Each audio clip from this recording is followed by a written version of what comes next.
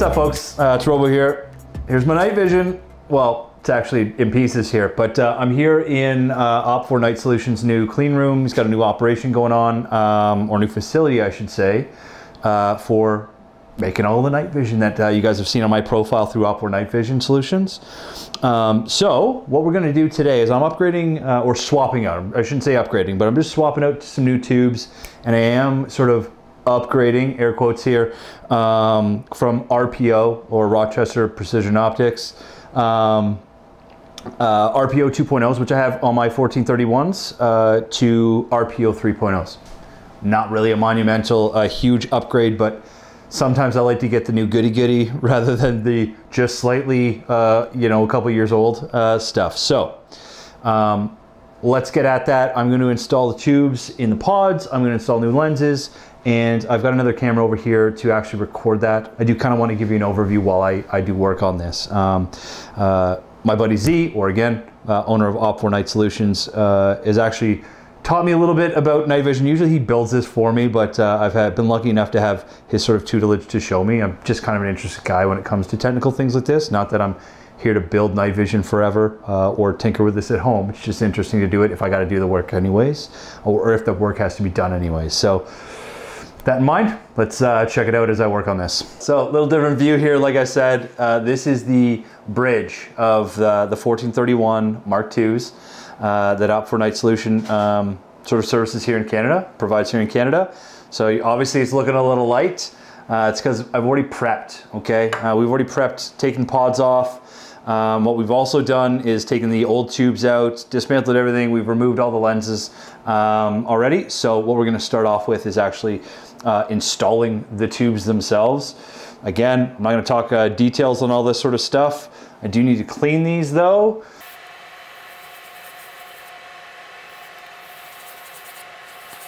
I look pretty dust free, but I'm probably gonna take a quick swing with one of these fancy microfiber uh, sticks. Z tells me they're super expensive, so let's make sure we use uh, 18 to 20 of them. I hear they're like a dollar fifty each for like this little tiny Q-tippy thing. So we'll find a way to cost Z money doing this, but kidding by the way.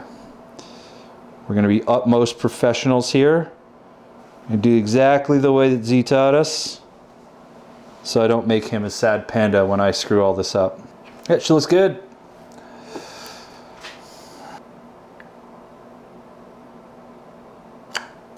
Got to put this, uh, it's what's called a light bridge. Uh, it just looks like a little piece of clear plastic because that's what it is. Um, probably a, a, piece of equipment in night vision you don't think of very much. It just transfers the indicator lights for the actual night vision housing itself. So for example, the 1431s, you know, there are different function settings that you can control through the night vision. Uh, when you screw in the battery all the way, when it's actively getting power, uh, a red indicator light will go off, or when you uh, configure the you know auto off up and down fe feature, the light indicator will show you that. So that actually just transmits uh, that that light inside the pod itself. There we go. Perfect. Next, we're gonna have the retaining ring. Okay, so retaining ring probably could end up being a little bit tricky, right? Because here we've got this ring inside of a ring, like you need special tools to sort of get at it, maybe two screwdrivers kind of deal. Or to make the job easier, so what Z did was he made his own tool to do this. It just makes it sort of idiot proof to a degree as long as you really don't screw it up, right? Obviously we don't want to cross thread anything in uh, while installing uh, or putting the actual nods together.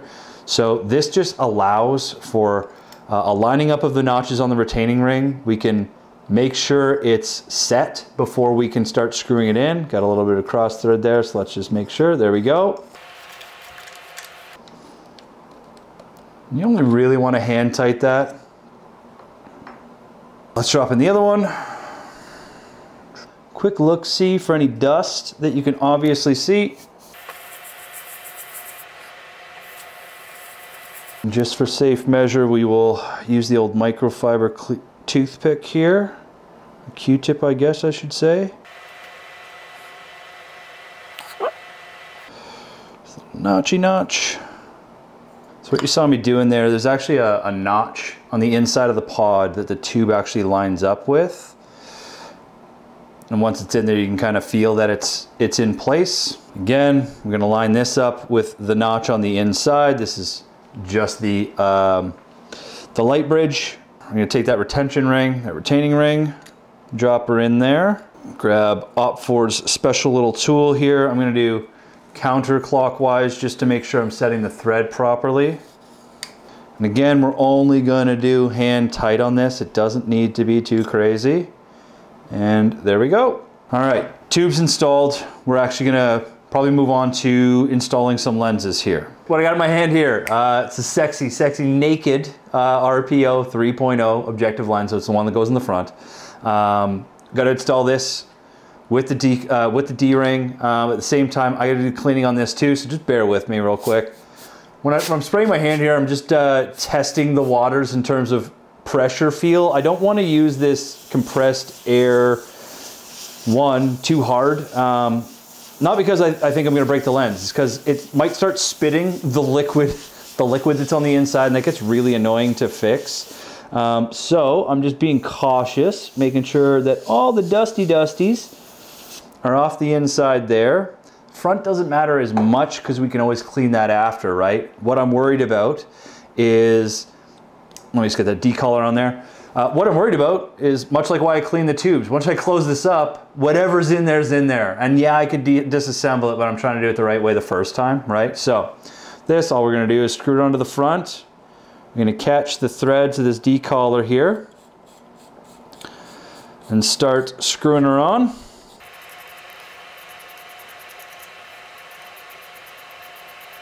Sounds dirty when I say that, screw her on, but you know what I mean. All right, we've got that front lens on. I'll do this other one just because again, I'm cleaning these and I haven't set up the other lenses yet. D-collar's already on this one. And I'm just gonna do a little ring over here just to make sure. Thought I saw a little bit of a speckle. Coolio. So same process. Other pod, the objective or front edge, the front end I should say, not edge. Caught the, uh, the old threading here, gonna thread on the D-collar. Now the one thing I'm gonna have to follow up with on this is that there's actually uh, retaining screws, right? Tension screws that'll go in here. I'll put those in in a minute. Uh, what I'm gonna focus on first and foremost is actually the eyepieces themselves. I do have to clean these as well. They're a little bit easier. There's no two piece here. Like technically there is in terms of actually getting the eyepiece into the, the eye cup. We, have already done that, okay? So I don't need to show you that. I'm just gonna make sure these are all clean though. So in any case, uh, cleaned out the lens here. Pod, tube in it, right? Objective lens already installed. I think there we got it. So again, see how that screws on nice and easily? If this was any harder to screw in, um, it's a good indication that you should probably stop what you're doing. Don't force it, okay? It should go pretty easily. Uh, if you're forcing it, you're probably cross-threading and cross-threading especially uh, um, sort of plastic or, or uh, threads that, uh, that at least integrate with plastic, you're probably gonna have a pretty bad day. So what you wanna do with this is you wanna screw it all the way down to the bottom till it sort of overhangs a bit and you wanna back it off by uh, a half a turn essentially. So we'll get it all the way on here. And then we're gonna just back it off about a half a turn. Okay, so there we got pod. It's gonna be my right pod. We've just arbitrarily decided that. I think we're pretty good there. I know this must be very exciting. You watch me turn two cylinders together. That's what you pay me the big bucks to do. Boom, stops half a turn out, you're probably good to go. We're almost done, uh, and that's kind of amazing. Again, we've got tubes in here. We've added lenses, okay? Got my right pod, got my left pod, and I've got that bridge I showed you. Obviously, you're seeing some circuitry here. What's the circuitry for? Well, duh, it's what you attach your pod to, okay? It's what controls night vision, okay? So I'm just going to very carefully mount these. If I can get my gorilla hands to, to actually do it properly here. But yeah, all I'm to do, very carefully, Easy peasy, one pod on. And the, the only thing you kind of have to watch when you attach a pod from my position is obviously it's where the connective circuitry is, okay? From between the bridge itself and the pod.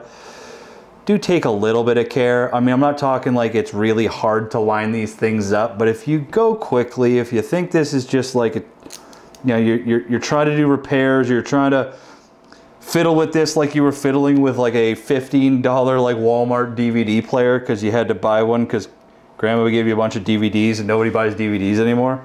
Like, fair enough. You could treat that thing like crap. Do take a little bit of care with this stuff, even though it is pretty idiot proof. It's not the most complicated stuff uh, to fit together. You make one mistake, and in the night vision world, can result in a pretty expensive learned lesson. So there you have it. They're put together. Now there are some other steps we have to do to make these complete, okay? So, so like I said, we've got a couple extra steps here. I mean, we're pretty much together, right? Um, I do have to put these set screws into the D-collar, which allows me to set my infinity stop. Uh, I haven't tightened down the set screws on the eyepiece just yet. So with all of that sort of wrapped up, I do, like I said, I do want to swap out this little uh, battery cap retaining uh, strap. Big deal. I'm being a, just a special, special kid wanting to, to match his night vision strap to his night vision pods. So we're gonna just quickly do that. There we go, multicam black on there. There we go, easy peasy, as they say, lemon squeezy. Just refit everything back together and voila, we've got our swapped out tubes, brand new RPO 3.0 lenses.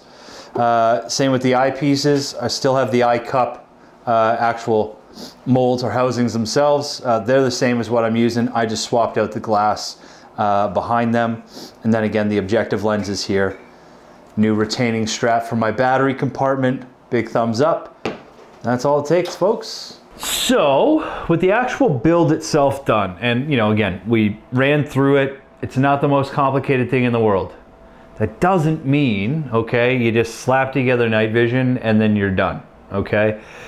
There is one step uh, that I would change what I said about the easy peasy lemon squeezy in terms of putting the thing together, and that is calibration. It's all of the final sort of steps, uh, making sure everything is aligned correctly, that every your infinity stops are good, and you've calibrated uh, the night vision to be perfectly, perfectly in focus, aligned, etc. Okay, so here at OpFor Night Solutions, okay, yeah, you could, okay, you could take these outside, use your eyes to sort of calibrate, okay, you can sort of wing it per se.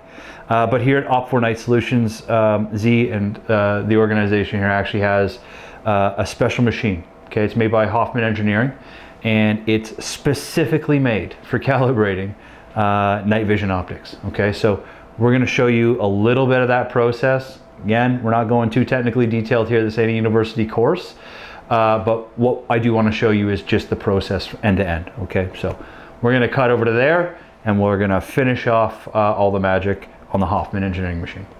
We're just making sure that once we've put all this together, sure it looks great when your eyes are up uh, against it, but uh, OpFor Night Solutions just has invested in the technology to be absolutely mathematically, scientifically sure of what our eyes are to see and the end product might be or will be to that fact.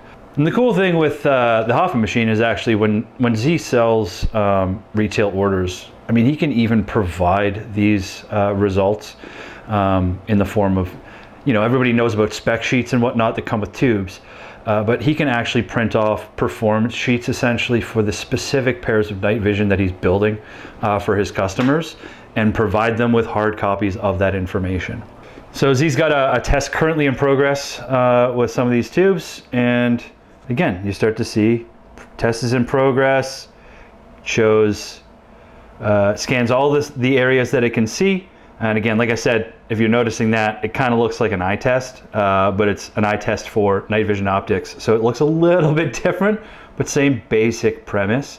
Uh, the better the tube, the more stuff you can see or the smaller things you can see, kind of like those trailing or ending sort of uh, lines of letters that you'll see at an optometrist. But yeah, that's essentially what it's doing when you attach it to the eyepiece here. It's actually doing all of those reads and doing the tests automatically for you. And then once this is all done, um, essentially uh, we would move to a nitrogen purge just to make sure that we're pushing out all the moisture, any sort of non uh, non-neutral environment or atmosphere within uh, the optics themselves. And that's just to make sure that they've got longevity. There's nothing inside that'll harm them and to make sure they've got all their, their seals properly sealed, et cetera, et cetera. So as a final step on the Hoffman here, um, before you go and generally will nitrogen purge, that's what this machine down there is, is uh, Z's putting on what's called the collimation bridge. You'll notice that he's got a bridge, one's got right, one's got left, and then he's got the sensor on the top. What you're actually doing is you're bouncing the image so it merges into one. So that sensor is essentially overlaying both images into one. And your entire goal, much like uh, looking through a scope, is you're trying to make sure both of those images uh, align with the center over themselves without any duplication or ghosting of the image in the center of that image. So once that's achieved, it's considered factory set and you are done. Really the care is put into the calibration to make sure the image is as crisp and clear as uh, it should be for the money that you're putting into things like lenses, tubes, housings for night vision, right? As we all know, it's a little bit of a pricey game to get into, even though now in the modern age, uh, that price has gotten better. It's still a pretty significant purchase that one can make. Um, so again, OPFOR Night Solutions, that's why I love them. Uh, Z takes care of me, but he also does really, really, really friggin' good work, uh, especially when I'm, you know, myself and others are spending their hard-earned money uh, to enjoy night vision. So thank you, Z. Thank you, uh, OPFOR Night Solutions. And there you go. Night vision, Panos, Z, and then Hoffman. Good night, y'all.